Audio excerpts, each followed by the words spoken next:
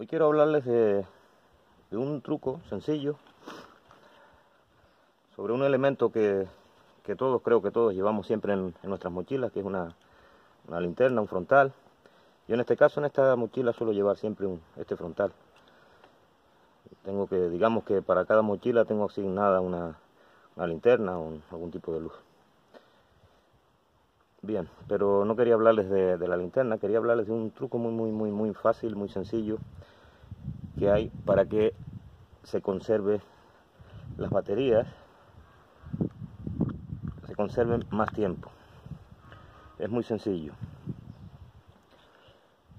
Yo no sé si se fijan, en esta linterna, ¿vale? En este frontal, todos los polos están en el mismo sentido. Obviamente la linterna así no va a funcionar, pero la vida útil de las baterías es mucho, mucho, mucho más larga. Seguramente no se apreciará en la cámara, pero estas pilas, estas baterías, tienen una fecha de caducidad aquí. Y en este caso, en este es del 2015, 4 del 2015. Es decir, que estamos en marzo del 2019, pues cuatro años. Se han pasado de la fecha de caducidad. Yo este frontal lo utilicé hace, no sé, seis meses, en una pernocta que hice. Y llevé este, esta mochila que llevo ahora.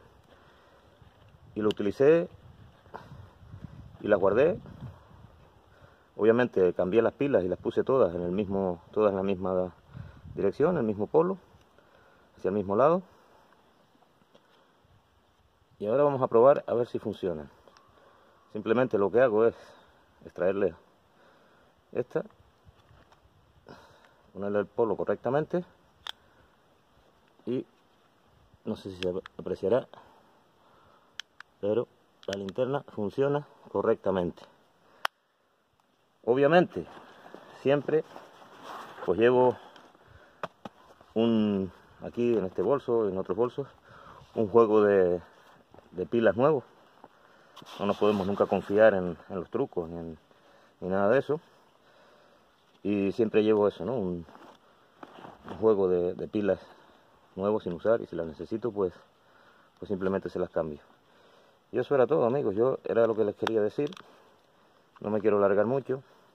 Lo que voy a hacer ahora es volver a, como esta, esta linterna no la voy a usar ahora, pues le voy otra vez a cambiar